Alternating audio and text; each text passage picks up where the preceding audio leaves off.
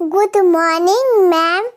I am Banani Bhandari to declaim a speech on Swami Vivekananda. Swami Vivekananda was born on 12 January 1863 in Kolkata. His father's name was Vishwanath Datta. His mother's name was Bhuvaneshwari Devi. His, his real name was mm, Narendranath Datta. His nickname was Billy. He was a great philosopher. Thank you.